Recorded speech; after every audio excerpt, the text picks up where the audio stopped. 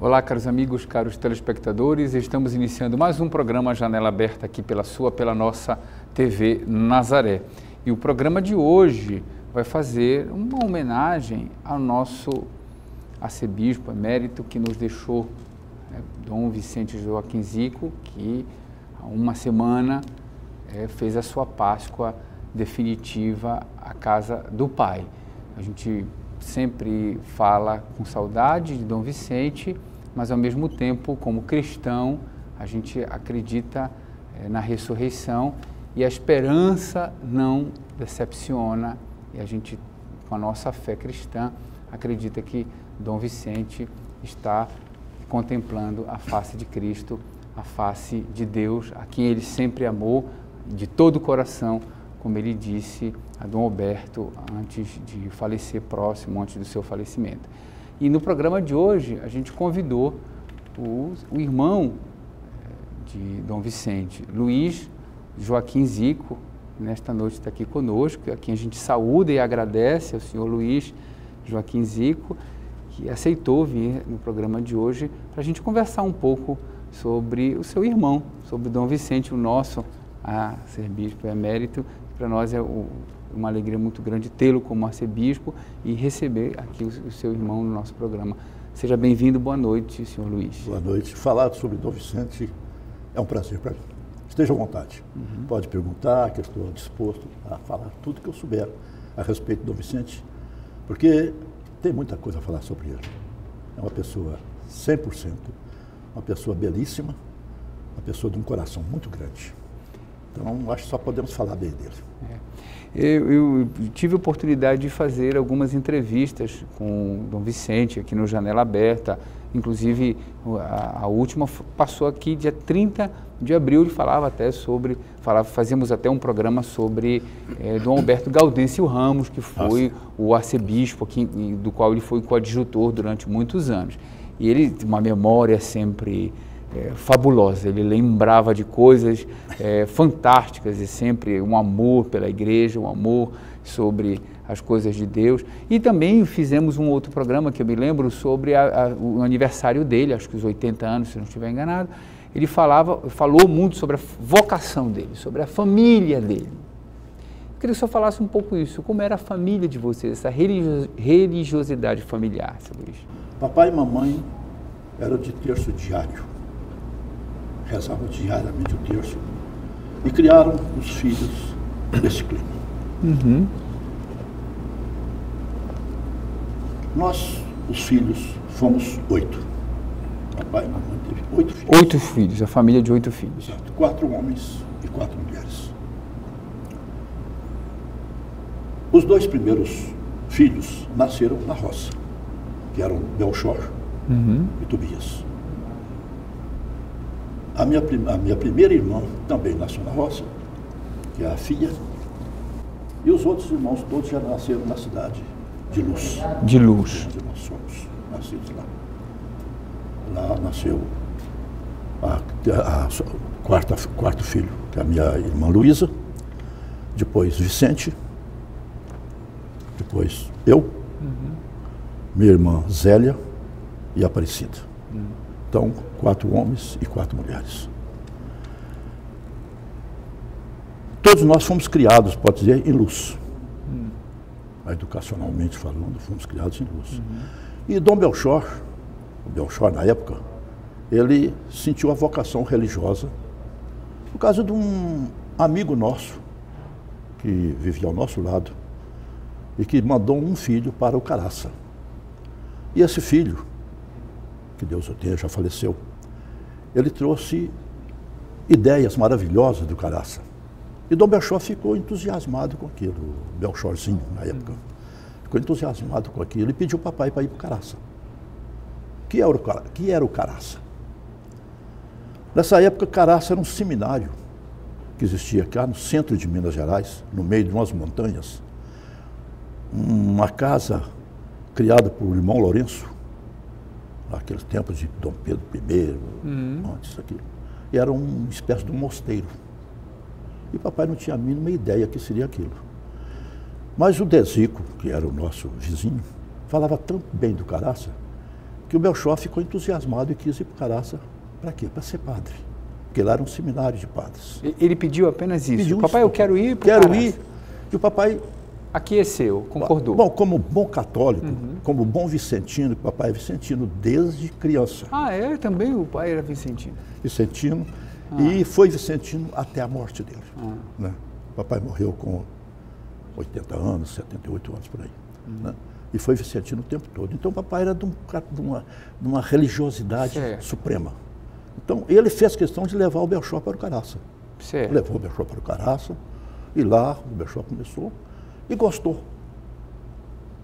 Aí o Tobias, que era o segundo irmão, se entusiasmou também. Pô, também quero ir para o Caraça. Já que o Belchó foi, eu quero. Mas, mas ó, o Belchó foi com a intenção de ser padre. O Tobias era mais franco. Bom, eu vou para lá. Se eu for para ser padre, tudo bem. Se não for, eu vou aprender alguma coisa. O Tobias era desse jeito. Era sempre brincalhão, mas era muito realista. E foi o Tobias também. Aí ficaram lá, Belchor e Tobias. Sobraram dois irmãos em casa, Vicente e eu, fazendo ainda o grupo escolar. E o Vicente, sabendo que Dom Belchor e o Tobias estavam no Caraça, também teve vontade de ir. Eu quero ir para o Caraça. Mas nessa época ele já, já Não, sabia estava que... no grupo. Não, eu estava no grupo ainda. Estava no grupo, mas ele já sabia que tinha uma possibilidade Já. de ser sacerdote. Aí já, já, Já- a ideia já era notícia- outra. a ideia já era outra, não era aí uma curiosidade Aí o. Tobias gostou de lá. Ah, sim, Ficou tá. lá, ele o Dom e o Belchor ficaram lá. E o Vicente se entusiasmou com aquilo. E também quis ir para lá. Mas o Vicente, ele, em criança, ele era um pouco doente. Ele não era de boa saúde. Uhum. Tanto é que a ida dele para o Caraça foi protelada por um ou dois meses, porque ele estava doente, ele queria ir de qualquer jeito. O Vicente, devido ao padre Tobias, o Tobias e o Belchor já estavam no Caraça, já estavam estudando, e diziam maravilhas sobre o Caraça. O Vicente se entusiasmou e quis também ir. E falou com o papai, quero ser padre. O papai falou, que isso, vai? Já foi o primeiro, já foi o segundo. Vai o terceiro, quem é que vai ficar aqui? Me lembro E, direitinho. e, e, que- e que, o senhor se lembra disso? Lembro direitinho. E qual era a idade de, de Dom O Vicente estava com 10 anos na época, e eu com 9. E ele Estava disse assim, eu quero ser padre. Quero ser padre. O senhor se lembra disso? Via, tranquilo. Mas... E ele não pôde ir logo, porque ele adoeceu. Ele teve uma doença, não me lembro mais o que, que era. Eu sei que ele ficou. O médico aconselhou que não fosse rápido. Ele ficou um mês ou dois meses ainda, se recuperando, mas louco para ir para o Caraça. Porque o Vicente tinha isso. Ele queria uma coisa e ninguém segurava. Aí foi para o Caraça também. E eu fiquei sozinho. Cadê meu irmão? Cadê meu companheiro? E eu fazendo, começando a fazer o quarto ano de grupo. Eu estava fazendo, ia fazer 10 anos. E eu resolvi também que era ir para o Caraça. Aí papai falou assim, pronto, os filhos todos. Pronto. Mas Deus é grande, todos os sacerdotes vai ser ótimo. A religiosidade da família era muito grande. Eu fui para o Caraça. O senhor também foi? Foi, fui para o Caraça. 1939. Fui para o Caraça. Mas não pude permanecer no Caraça muito tempo, porque em 1942, o Caraça é um, muito frio. E eu não me adaptei bem com a temperatura de lá, muito frio. Mas não era um seminário vicentino especificamente? Um semi- Vicentino, Era vicentino? Lazaristas. Lazaristas, o se- meu diretor superior de lá na época, o padre Antônio Cruz, um português muito enérgico. Então a pessoa andava na linha com ele. né? Tinha os outros padres, padre Torres, padre Genesco Rabelo, eram professores e estudávamos o latim a fundo, estudávamos o grego. né? Era um, um seminário espetacular. Aliás, até, até quando houve o incêndio do seminário, mas isso é outra história. Mas, então fui para lá, fiquei lá, fiquei lá três anos. Mas voltei para casa, que eu não me dei bem com o clima de lá. E parece que minha vocação não era bem aquilo também. Mas o Vicente continuou. Como o Tobias já tinha ido para Petrópolis, o, Vice, o Belchor já tinha ido, o Tobias foi, e o Vicente, logo depois que eu saí do, do Caraça, o Vicente também foi para Petrópolis. Então o Vicente terminou o período do seminário menor do Caraça. Olha, deixa uma lembrança muito grande o Caraça, porque o Caraça é 100% um lugar maravilhoso. para se estudar, para se refletir, para se viver. Eu gostaria que todas as pessoas que estão ouvindo o programa um dia fossem ao Caraça, para ver que maravilha que é aquilo lá. E o senhor que era bem próximo de Dom Vicente, como o irmão mais caçula dele, ele confessava alguma coisa para o senhor da alegria dele estar ali no? Ah, diariamente. Ele gostava, ele, ele parece que estava no ambiente dele. Era aquilo que ele queria. Tanto é que terminou o quinto ano de Caraça, uhum. ele já foi para Petrópolis para fazer o seminário maior. Ah, sim. Era em Petrópolis, a casa do seminário maior dos padres lazaristas, né, de São Vicente Paulo. A devoção do papai para São Vicente era uma coisa incrível. Então ele aceitou tranquilamente a vocação dos filhos. E ele lá se juntou ao Dom Belchor, ao Belchor na época, né? Belchor, ao Tobias, e o Vicente já entrou para o noviciado. Fez o noviciado, dois anos de noviciado em Petrópolis, depois fez o curso de filosofia, teologia e foi ordenado sacerdote em 1950. Uhum. Foi ordenado sacerdote. Eu tive a satisfação de assistir à ordenação dele em Petrópolis. Né? Lá esteve meu pai, minha mãe, alguns tios. Nós aceitamos, assistimos à ordenação dele. O Vicente, padre Vicente então nessa época, ele seguiu os mesmos caminhos dos irmãos. Que o Belchor, padre Belchor Neto, parece-me que ele foi na época para Fortaleza e depois para ser superior do seminário de Diamantina. O padre Tobias também esteve no seminário da Prainha, em Fortaleza, e depois foi ser superior do seminário em Mariana. E o Vicente foi para o seminário da Prainha, seminário menor da Prainha, em Fortaleza, e aí começou o trabalho dele como sacerdote, como missionário. Né? Foi professor, foi superior, e a vida dele foi essa. Uhum. E o Vicente foi, com isso, evoluindo o trabalho dele como missionário, porque, na verdade, a, congregação dele chama-se Congregação da Missão, que é dos missionários de São Vicente Paulo. E ele, com o senhor, o que que ele, é, nessa vida do seminário e depois quando ele se tornou sacerdote, o que que vocês conversavam muito? Ele falava sobre a vocação, ele, ele, o que que ele, qual era o sonho dele naquela época? Não, Como desde... sacerdote, era, era, era o quê? É, é, ser mesmo, é, trabalhar numa casa, trabalhar nas missões, ele falava alguma coisa nesse falava. sentido? Falava, ele gostava demais de ser missionário.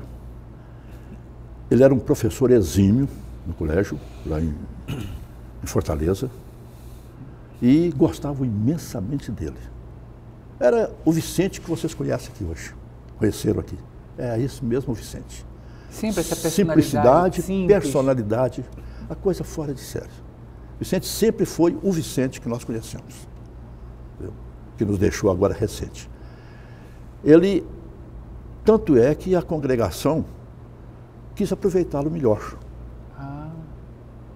colocou como, vamos dizer, um supervisor, não sei se bem essa palavra, da congregação em Roma. Ah. Ele foi para Roma. Antes ele foi trabalhar na Venezuela. Ah, ele trabalhou na Venezuela? Foi a Venezuela como emissário da congregação, junto a, os, a, os, os, as reuniões que encontravam, ah. haviam lá. Foi para São Domingo. Né? Então ele fez esse trabalho da congregação, quase como um superior, mandado como superior para lá, como supervisor, como coordenador, vamos dizer assim. E ele esteve nesses lugares todos, para depois ir para a Europa. Ele ficou em Paris uma temporada e, no final, foi para Roma. Ele me disse que Paris foi uma grande surpresa, porque ele queria muito aprender o francês, falar bem o francês, né? aprendeu, é. sem querer, aprendeu bem o francês e o italiano. É. Né? Porque de lá ele foi para Roma né? e foi como o representante da congregação no Vaticano. Então ele já estava com o trabalho já um pouco, vamos dizer, superior ao que eu fazia aqui no Brasil, porque ele já era uma pessoa da confiança do, do, da diretoria, do superior da congregação. superiores da congregação.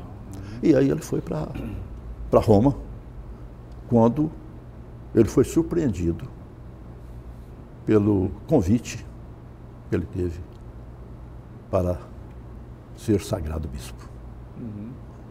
Ele, ele, isso foi em que período, mais ou menos? Você se lembra? Isso foi no período de. Porque ele. ele Sagrou, foi ordenado, é, sacerdote, ordenado sacerdote em 1950, porque eu me casei em 51. Uhum. Eu pude ir lá, eu era noivo, fui lá assistir a ordenação dele. Me casei em 51, e desse período de 50 até 80 foi esse trabalho que ele teve. Eu sei, 30 anos de trabalho, né, de 50 a 80, um trabalho lindo, trabalho exemplar, e tudo dentro daquilo que ele sabia fazer e ele gostava de fazer. Então ele foi para, ele em Roma, ele foi convidado, ou convidado, ou nomeado, não sei bem a palavra, para ser sagrado bispo. Para ele foi uma surpresa. Né? Eu tenho a impressão que o dedo de Dom Alberto estava nesse negócio. Sabe? É, Verdade. Deve ter. Bom, eu fiquei sabendo disso, nós ficamos sabendo disso, eu e minha senhora, lá em Belo Horizonte, no dia de Natal, no dia 24, aliás. Está lá preparando a ceia, aquela coisa toda, o telefone toca. O telefone toca, aqui é de Roma. É o Vicente, queria falar com o Luiz. Só para ele mesmo está falando. Olha, vou te dar uma notícia, não vai. Pode sentar que você vai assustar. Sei o que, que foi, Vicente? Acredita que me chamaram para ser bispo? Você está brincando. Não, mas não é bispo, não, é arcebispo. Disse, quê? Direto? É, e para Belém do Pará. Agora, fala uma coisa, não comente isso com ninguém, porque o Vaticano ainda não colocou no Observatório não Romano. Comunicou. Ah. Não comunicou, não pode, está caladinho. Até a noite. À noite, aí você pode falar. Isso foi durante o dia, de manhã. Meu Deus do céu, como é que eu faço? Eu, eu, a minha senhora eu contei, né, claro, né? O Vicente falou assim, ah, mas aí ele, ele continuou. Ele disse, ah, mas tem uma coisa. Eu vou fazer um pedido e você não vai me negar. Eu falei, o que foi, Vicente? Você vem assistir minha sagração. Aí vocês foram lá assistir a sagração dele. Fui eu, hum. minha senhora, minha irmã, filha, que é essa que tem 92 anos, Padre Tobias e o Dom Belchor, que já era bispo. Era bispo. Já era bispo de luz. Eu queria depois que o senhor contasse para nós como é que foi esta, esta presença lá bom. em Roma nessa sagração. Mas daqui a pouquinho, no próximo bloco, a gente comenta um pouco mais sobre isso. Tudo tá bem. bom? Não saia daí, estou recebendo com muito prazer aqui o senhor Luiz Joaquim Zico, irmão de Dom Vicente Joaquim Zico, que está nos contando um pouco sobre a vida familiar, né, a experiência do irmão, falando sobre a vida de Dom Vicente um pouco aqui para nós, em uma singela homenagem ao nosso arcebispo emérito que nos deixou semana passada. Não saia daí, TV Nazaré Amazônia falando para a Amazônia. Estamos voltando com o nosso programa Janela Aberta aqui pela, sua, pela nossa TV Nazaré, hoje recebendo o irmão de Dom Zico, Dom Vicente Zico, que nos deixou semana passada. Ele fez a sua Páscoa definitiva. Estamos recebendo Luiz Joaquim Zico, que está nos contando um pouco da vida familiar, da presença que ele teve com Dom Vicente e estava nos falando sobre o, a notícia que ele recebeu quando ele foi, ele recebeu a notícia que ele ia ser arcebispo e foi em Roma, a sua sagração episcopal e a família toda, quase toda foi lá. Não foi isso, seu então, Luiz? cumprimentando, ele nos convidou então para irmos a Roma. Né? Hum.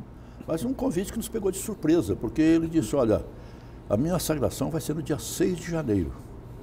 E eu gostaria que vocês todos estivessem aqui. Ora, nós não tínhamos passaporte, tínhamos que comprar dólar, tínhamos que comprar a passagem de avião. Isso para irmos no dia 31 para Roma.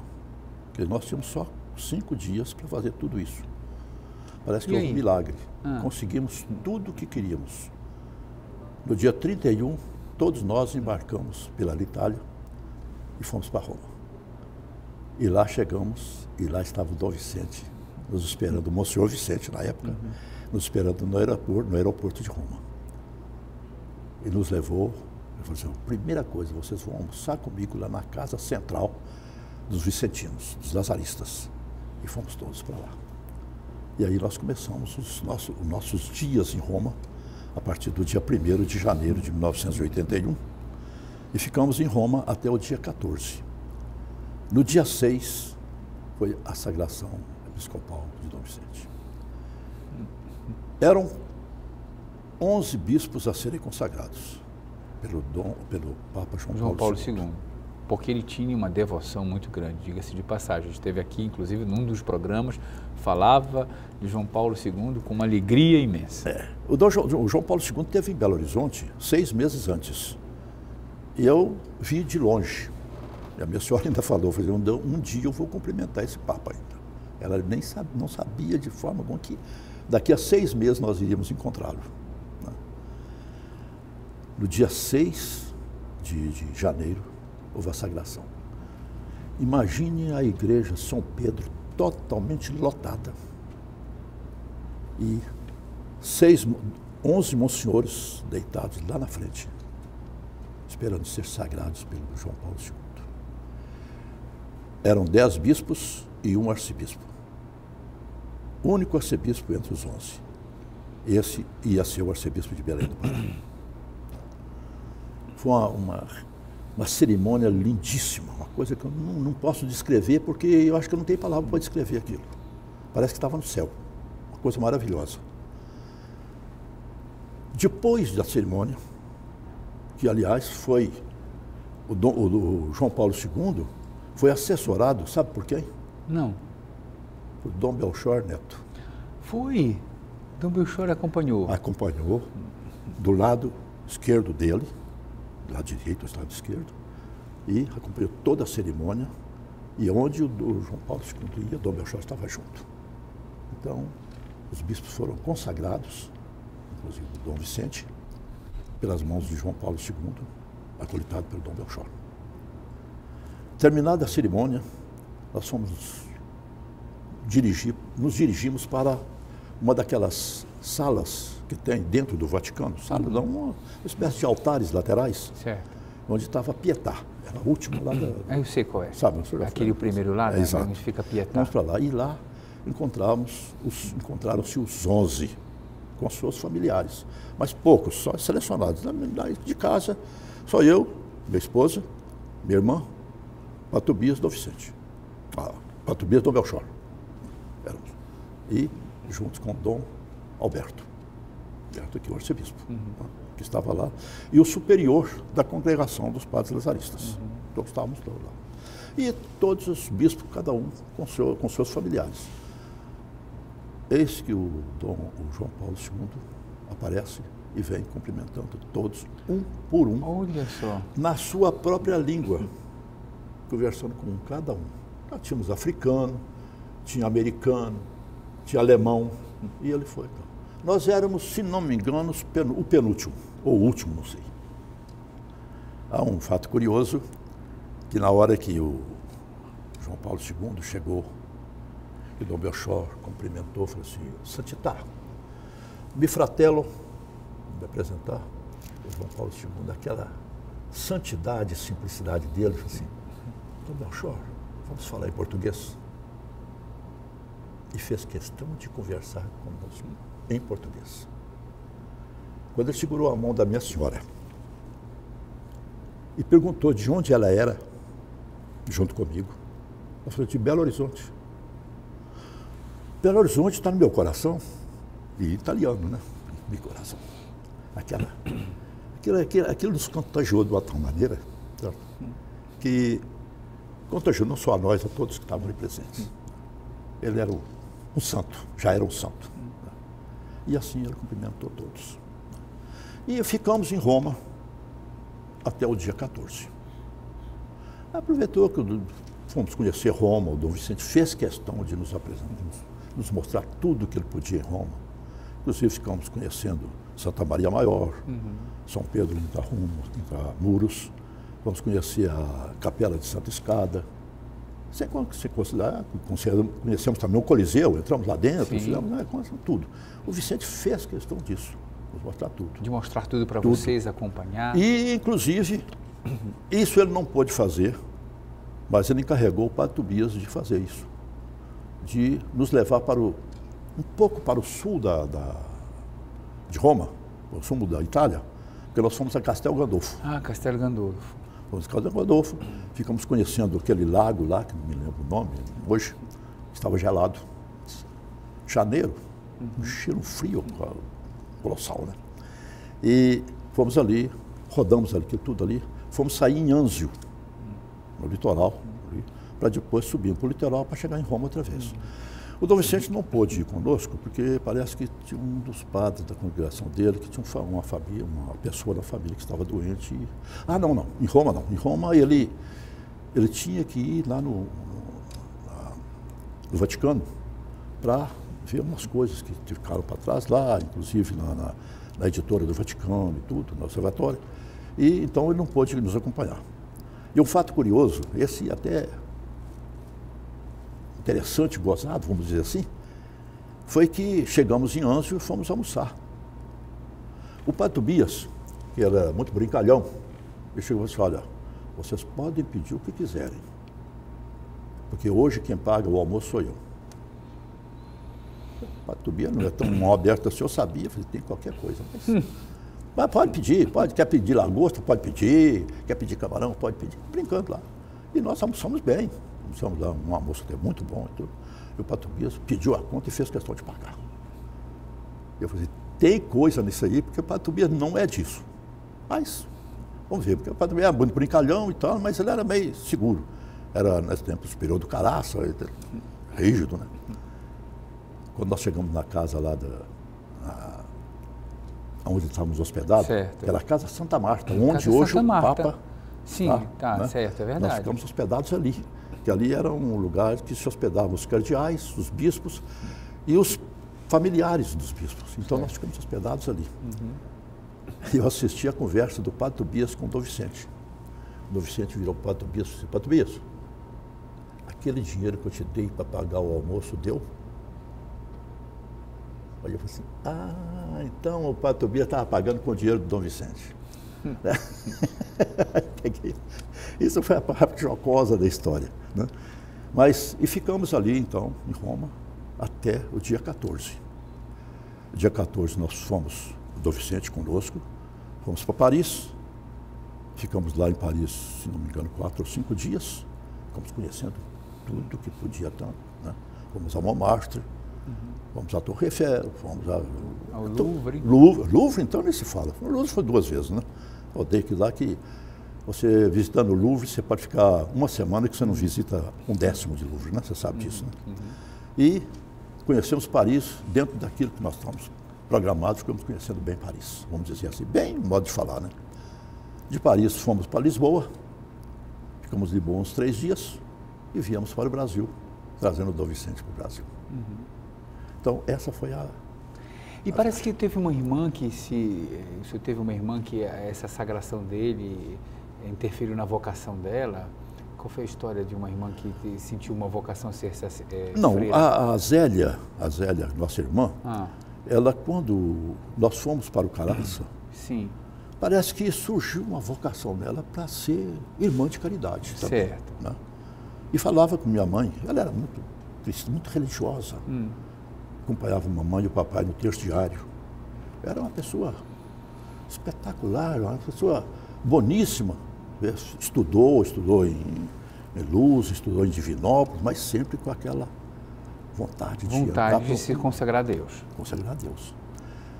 Quando Dom Vicente foi sagrado, foi sagrado, foi ordenado, ordenado sacerdote em 1950, ela falou com o papai, eu quero ir para o Carmelo.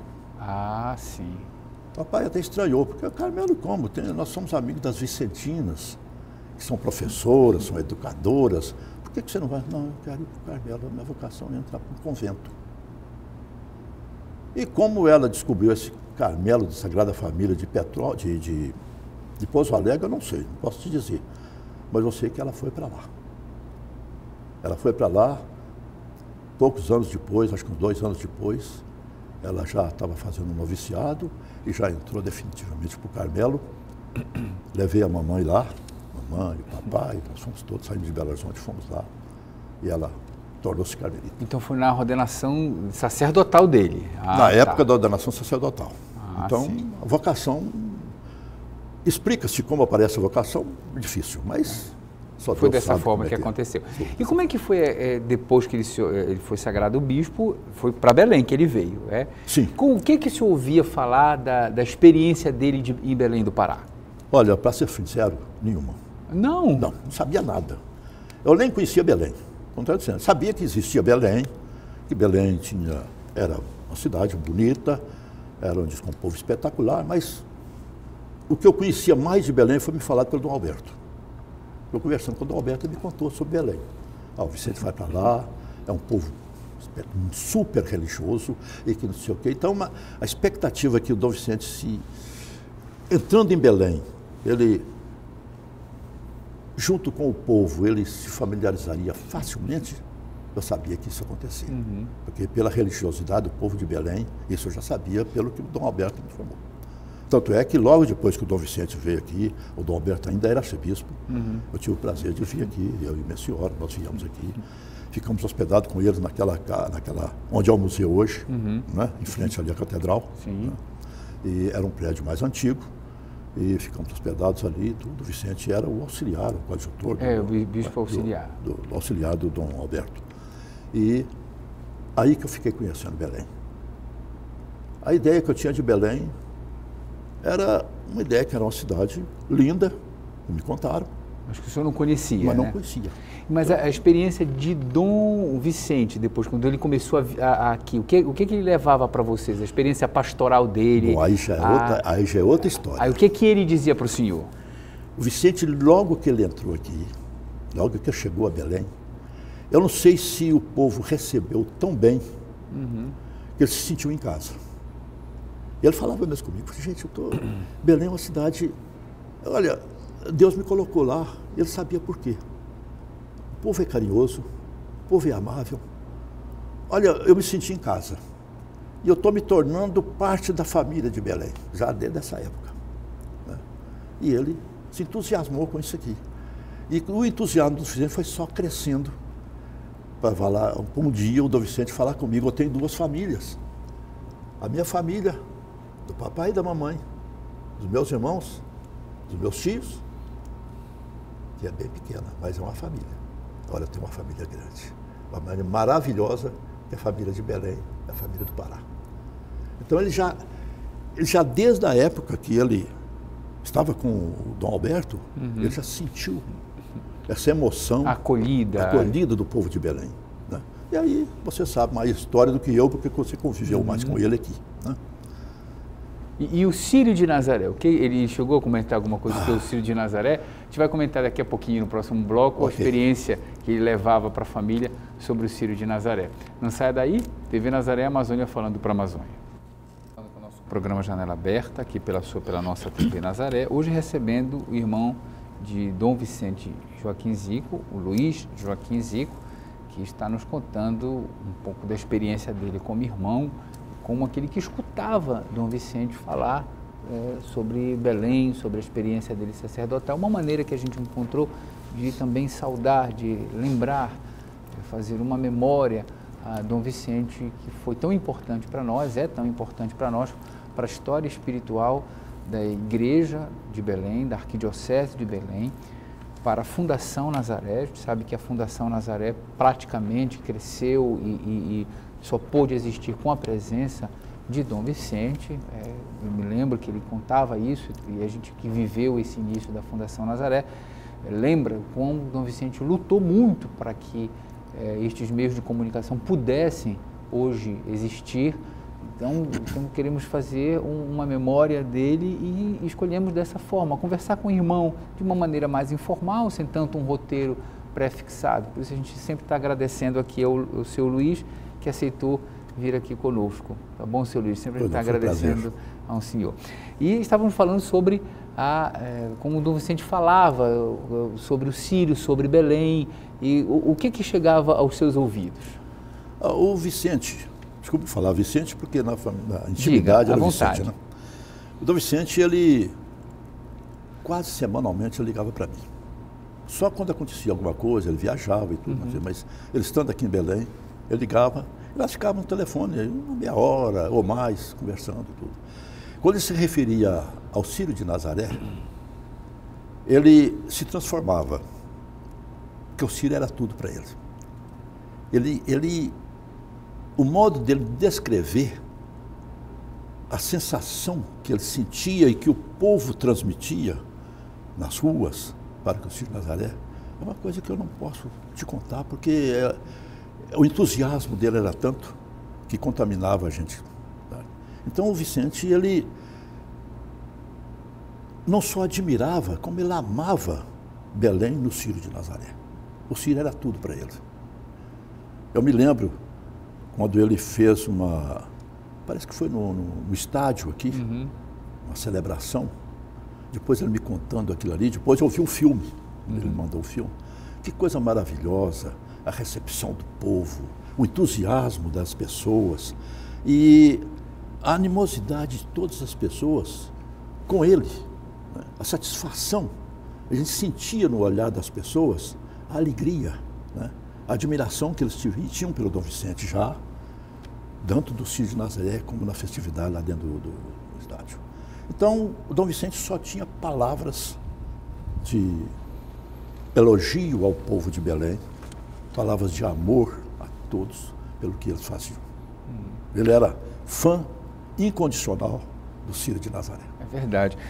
É, o senhor tinha me falado antes de, de a gente começar hoje o programa que parece que Dom Vicente não tinha muito não no, no, vocabulário dele. Ele era uma pessoa muito. Não no sentido assim, claro que ele dizia não quando era é. necessário, mas no sentido de, de se doar para os outros. Ele, quando havia uma necessidade, ele, ele se doava mesmo. Dificilmente ele negava uma ajuda. É, eu disse a você que parece que no dicionário do Dom Vicente não existia a palavra não.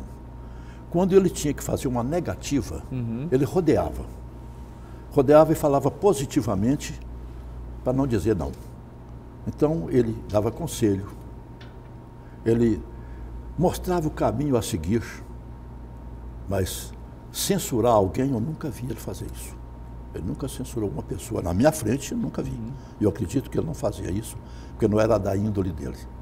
Então era uma pessoa amiga de todo mundo, todo mundo gostava dele, parece-me que sim, uhum. e ele amava todo mundo. Então é uma pessoa que não sabia falar não. Ele era uma pessoa super positiva, mas sabia transmitir com simplicidade aquilo que ele queria. É verdade.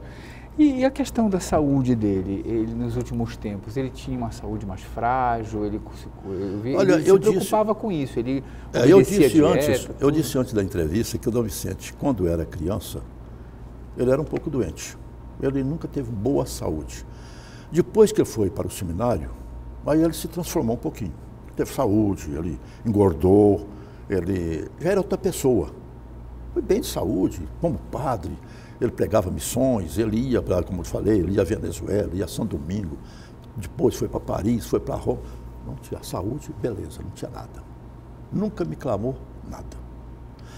Agora, ultimamente, depois que ele passou dos 80, bom, a pessoa já começa a sentir alguma coisa. Ele começou com marca-passo ele tem um marca-passo. A glicose dele também ficou um pouco alterada. A pressão dele também não regulava bem. E ele começou a sentir-se idoso na expressão dele. Ele não se considerava velho, ele se considerava idoso. Ele dizia isso? É. E como idoso, está sujeito a tudo isso, né? E ele emagreceu muito, como vocês viram que ele, né?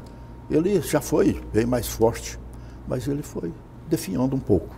Mas controlava, ele controlava bem a diabetes dele, ele controlava bem a pressão dele, ele controlava o marcapasso dele, funcionava direitinho. Ele teve ultimamente um problema nos olhos, foi a Belo Horizonte, foi operado, morreu tudo bem. Mas o Vicente, ele já, depois dos 80 anos, ele já, a saúde dele foi definhando um pouco. Agora, ultimamente, sim, ultimamente que ele já estava mais doente. A, última, a penúltima vez que eu fui a Belo Horizonte, eu senti isso.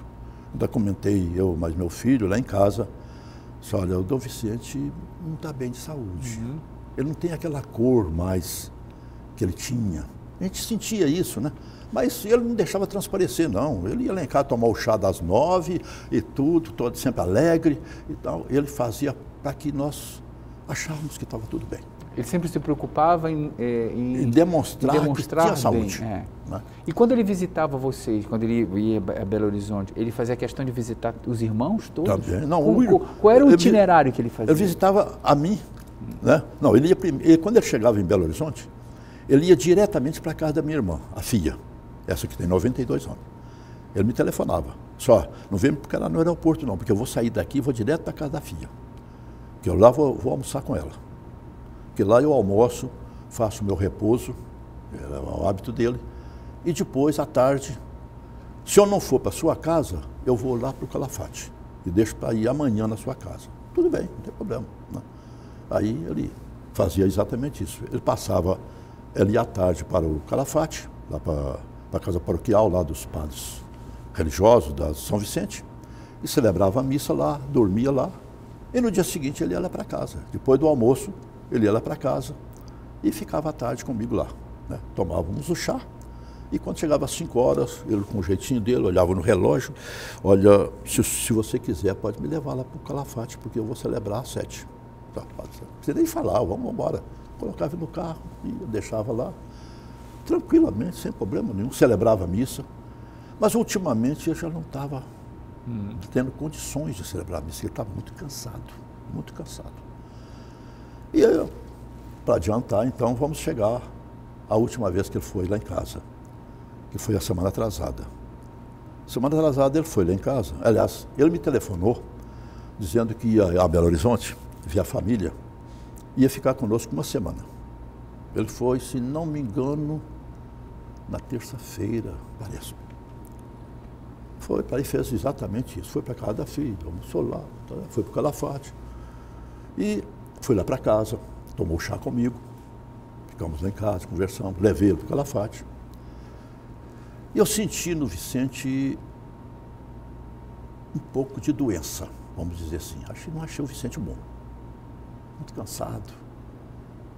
Sabe, eu até comentei com a minha senhora, não estou gostando da saúde do Vicente. Mas Deus é grande, quem sabe é passageiro isso. Tá? Quando chegou na sexta-feira, ele tinha, ia ficar uma semana, ele vinha embora na quarta-feira. Ele chegou na quarta e ia embora na quarta. Quando chegou na sexta-feira, ali pelas duas e meia, eu estava em casa. Agora sou aposentado, fico mais com a minha uhum. senhora, né? E ela é um pouco doente, então eu tenho que dar assistência toda para ela. Uhum. Aí o Dom Vicente me ligou. Luiz, dá para você vir aqui, no Calafate? Eu falei, vai, Vicente, algum, algum problema? Não, eu não estou passando bem, não. Eu gostaria que você viesse aqui para nós conversarmos um pouquinho. Eu tenho um filho médico, meu filho mais velho é médico, cardiologista. Telefonei para ele, mas infelizmente ele não podia ir lá, que estava trabalhando. Mas falei, não, não tem problema, vou. Peguei o carro e fui para o Calafate. Cheguei lá, estava sentado na cadeira dele, lá no quarto dele. Eu disse, Vicente, sentindo alguma coisa? senti um cansaço muito grande, falta de ar, mas já está melhorando. Eu tomei um remédio, está melhorando tal. Você tem tomado água? Não, tenho tomado água. Tudo bem, então vamos conversar, quem sabe isso passa. E fomos conversando. Aí eu, o padre Vinícius, que é lá da, da igreja do Calafate, mais o padre Célio e tal, estavam com a intenção de levá-lo para o hospital, porque ele não estava passando bem, levaram para o hospital Madre Teresa. Aí o Vicente foi categórico, não, não quero hospital aqui não. Eu quero, vou para o hospital, mas em Belém. Eu quero ir para Belém. Você não tem condição de ir para Belém? Ah, tenho. Amanhã eu quero ir para Belém. Vocês dão um jeito de me levar para Belém. E com isso eu também fui favorável a ele. Ele falando com tanta firmeza que queria vir para Belém, eu falei com o Padre Vinícius, tira isso da cabeça, vamos levar para Belém. Mas antes eu vou, levar, eu vou telefonar para o meu filho, falei com o Vicente, vou telefonar para o meu filho e vocês conversam, vocês dois, um médico com um doente, já que o senhor está se sentindo doente. Os dois conversaram durante uma meia hora. Então, Vicente, depois eu fiquei sabendo, você perguntou que remédio que eu estava tomando, se estava tomando direitinho, tá, tá, como é que eu estava sentindo e tal. Depois eu falei assim, ó, oh, tio, chamava de tio, tio Vicente, se o senhor estiver passando bem amanhã cedo, vai para Belém. Não preocupa não, pode ir. Eu dou meu aval. Pode ir tranquilo. E foi o que aconteceu. No dia seguinte, o padre Vinícius trouxe-o aqui para Belém. A Vinícius, inclusive, estava com a viagem marcada para o Rio. Desmarcou a viagem para trazê-lo aqui em Belém. trouxe em Belém no sábado e voltou no mesmo dia. E parece-me que sábado mesmo eles o levaram para o hospital. Foi. Não foi? Uhum. E no hospital fizeram aqueles exames todos, aquela coisa toda. E os médicos chegaram à conclusão que ele devia ir para casa. Parece que domingo à noite ele voltou para casa. Foi domingo à noite, voltou para casa. Eu não estou sabendo de nada disso. Eu, então me telefonou, não fiquei sabendo. Conversei com a minha senhora e ela falou, não, você deve ir a Belém. Vai lá, Vicente, você não está passando bem. Ele saiu daqui, não, vai lá fazer uma visita. Fica com ele lá essa semana. Mesmo, mesmo doente, ela se propôs a. Né, a minha filha, a Cláudia, ia tomar conta dela, meu filho Flávio, que também lá ficou em Belo Horizonte, tomando conta dela. E eu comprei a passagem na segunda-feira de manhã para vir para Belo Horizonte, para vir para Belém. Certo que eu chegaria, mas comprei para terça-feira. Eu fico terça, quarta, quinta e sexta. Está ótimo. Viu? Passar uns dias com o Vicente lá. Quando chega a tarde, seis horas da tarde, o telefone toca. Eu olhei lá, prefixo 91. Eu disse, ih, Belém. O que que o código 91 é Belém. Ainda falei com a senhora, não estou gostando dessa ligação não, porque o Ozélio me liga mais tarde. Nós conversamos mais à noite. Essa hora, liguei o telefone, saí de perto da minha senhora, porque parece que eu já estava antevendo o que vinha acontecer, a, a notícia. Aí eu falei, Ozélio, tudo bem? Ah, tudo bem. Só que o nosso amigo Vicente, às quatro e meia, ele partiu para o céu. Fechou a questão. Desliguei o telefone, não aguentei. Aí eu pensei, como é que eu faço? Eu vou para lá, mas vou para lá. Faço questão de ir. E vim para cá na terça-feira. E já eu o encontrei lá na igreja, lá no, na catedral, já exposto. Uhum. Onde procurei, procurei, conversar com ele, ele me ouviu, tenho certeza. Uhum. Porque conversar tudo que eu podia. Ele me escutou, tenho certeza disso. Pedi que ele abençoasse para falar. Com certeza, seu Luiz. Ele abençoa a sua família, que sempre acompanhou as visitas e abençoa a sua família, abençoa to, to, todos nós, porque, é, inclusive, on, na, na, na sempre na, na homilia, Roberto na homilia falava dessa presença de, de Dom Vicente em todo, na, na, vida das pessoas. E na, comentávamos na, depois, quando terminava a missa, dizia se colocassem ali uma frase de santidade da vida de, de Dom Vicente não seria exagero, porque de fato era um homem que expressava esta, esta santidade de vida. É, o Dom Alberto, quando eu estava, quando eu cheguei, o Dom Alberto fez questão de encontrar comigo. Logo que eu cheguei aqui.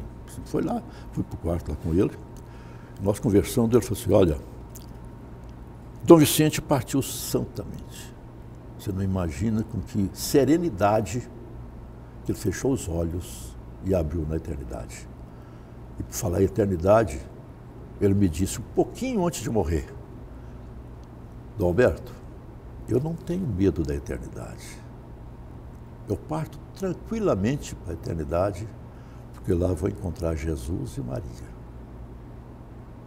Dom Alberto disse que sentiu uma coisa com ele.